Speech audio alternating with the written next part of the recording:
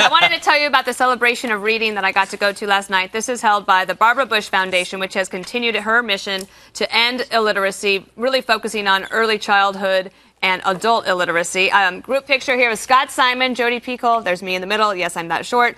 Um, uh, Markus Zusak, whose amazing book, The Book Thief, was there. And then that's Harlan Coben, a good friend of um, ours at Fox News Channel, and he's written 60 million books in print. We had lunch with President Bush, which was great.